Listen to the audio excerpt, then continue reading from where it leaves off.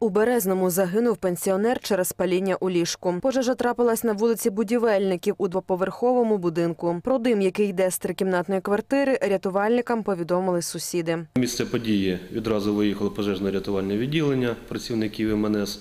За декілька хвилин е, вогнеборці вже в апаратах захисту дихання проникли е, у помешкання трьохкімнатної квартири і на тліючому дивані виявили е, тіло чоловіка. Його відразу винесли на свіже повітря.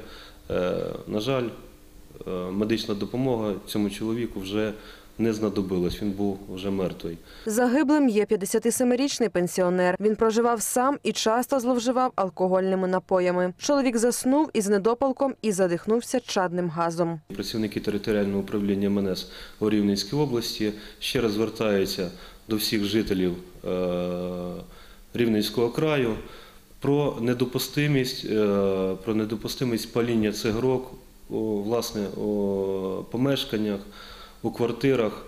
Часто густо це призводить е, до, до трагедії.